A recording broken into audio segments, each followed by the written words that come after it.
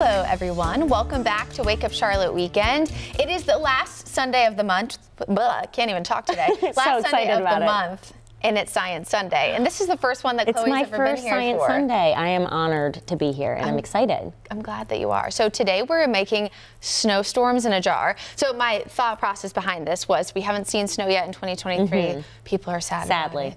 And because today is kind of a nasty day to get outside, at least at times, maybe a good thing that you could do inside with the kids. So basically what we're going to be doing is we're going to be adding oil, water, and um, paint to this food coloring, yeah, and then paint to this jar. So I'm gonna walk you through it. Okay, so the first things first, I already put mine together because I want us to do them together.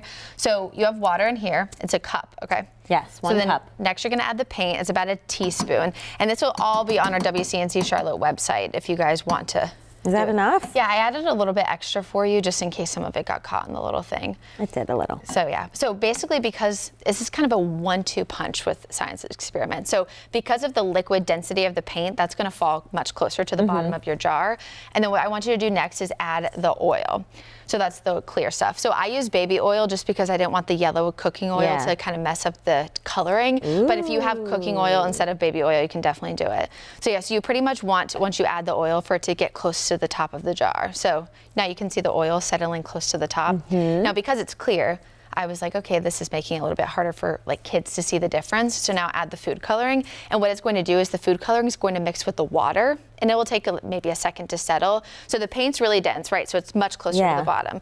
Then you'll have the food coloring and the water kind of in the middle. And then you can see much clearer now that the cooking oil Yeah, is sitting right on the top. sure. Obviously, eventually it's going to mix better and it'll look a little bit more like mine. So that's kind of science experiment explanation for the kids. Number one is the different densities of liquids. But the second is going to be what happens when you add a chemical reaction. Before we get there, just to give it a little extra oomph, Chloe, I want you to add a little bit of glitter to the top. When you say a little bit, not this whole thing. No, like you see, I only did a that's little a bit. lot of That's it. a lot. And I'm gonna some add some of this color, too. Yeah, we just want to be nice and nice. Just make it Beautiful. nice and pretty. So then the second part of the experiment, other than the liquid density, is what happens when you add Alka-Seltzer tablets. So Alka-Seltzer tablets are made up of acids and bases, and basically what happens is that when it reacts with the water, it will create those bubbles. If you've ever put Alka-Seltzer in a cup, you know what Yeah. I mean. And it's because it releases carbon dioxide, and that's going to be our snowstorm. So you're Okay, ready? We're so half it of one? together. We're going to do half just to kind of see what happens, and we'll add the other half. Okay. Okay, it's a little slow to start. Well, this is live TV for you. What's going to see it? happen? So it's starting to develop a little bit on the bottom. Let's add tablet number two. Okay. And I did it. Oh, there it goes. See Oh, how yeah, it's kind of creating really- the bubble looks? Yeah. Okay, so I'm actually, let's open a little bit more, just because I think it'll be. And Oh, we're is kind going of why- rogue. We're adding well, this more. is kind of why I got extras, just to kind of see, but this is kind of the idea, you know, behind it for the kids. It's like the more you add, the more carbon dioxide, you know, is going to continue. And this is kind of the idea behind the snowstorm. See how it's kind of like Yeah. creating the bubbles and It's pushing really them to the top. to.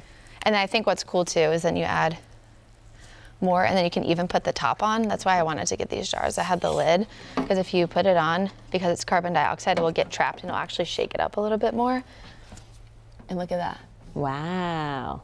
This is definitely fun to do with the kids. And you can kind of talk to them just about the different chemical experiments and stuff. Now, here's a little tip is don't leave the jar on for too long because Oh. what will eventually happen is because, you know, carbon dioxide is a gas, is that Yeah. get trapped. And then Oh, yeah. Ching. Well, you can see it's a little bit slow depending on how much Alka-Seltzer you put in here, but still a fun little thing to do on the weekends with the kiddos. Yeah, perfect for a day like today when we're going to have some drizzle. Yes. So happy Science Sunday, everyone.